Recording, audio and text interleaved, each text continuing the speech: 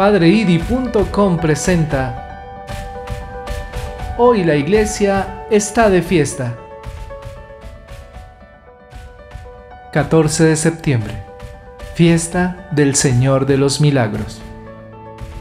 Desde el año 1580 se celebra la fiesta del Señor de los Milagros, una celebración católica para la cual los feligreses se preparan durante nueve días y que culminan el 14 de septiembre con Eucaristías y procesiones por las calles de las poblaciones en donde se venera al Señor de los Milagros, como en Buga, en el Valle del Cauca, Colombia. La tradición de esta celebración cuenta una bella historia protagonizada por una anciana indígena, convertida al catolicismo y a un milagro que le ocurre gracias a su gran generosidad y desapego por ayudar a sus prójimos. Según historiadores católicos, en 1819, el franciscano Fray Francisco Rodríguez contó la historia detrás del Señor de los Milagros de Uga. En 1580, la anciana indígena ahorró con su trabajo de lavandera los 70 reales que costaba una imagen de Cristo, que quería que el párroco de Uga le ayudara a traer desde Quito.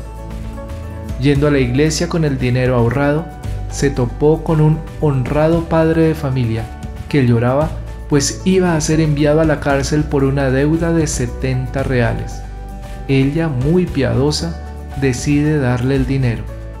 Lavando en el río unos días más tarde, en una ola le llega un crucifijo de madera, pequeño, que ella agradece a Dios y emocionada lo lleva a casa y lo guarda en una cajita. Días después, ante ruidos extraños, descubre que el crucifijo ha crecido y decide contarle al párroco de Buga, quien al verlo entiende que se trata de un milagro, pues por su tamaño, de un metro, talla de alta finura, ella no habría podido comprarlo o recibirlo regalado. La imagen se vuelve de adoración, le quitan pedazos e intentan quemarla, pero del fuego, tras sudar, sale aún más bella en su ranchito se construyó la que hoy es la Basílica Menor del Señor de los Milagros de Uga, donde este 14 de septiembre se celebrará su fiesta, como todos los septiembres desde aquel 1580. Como todos los años, en la fiesta del Señor de los Milagros se espera peregrinación, celebraciones y Eucaristías especiales en Buga y otras poblaciones de Colombia donde se venera a este Cristo.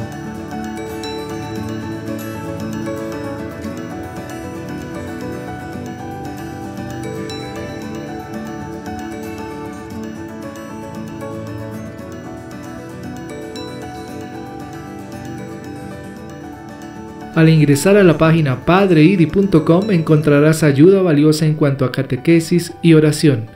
Asimismo, en su canal de YouTube, los videos diarios del Evangelio, el Santo del Día y el Año Josefino.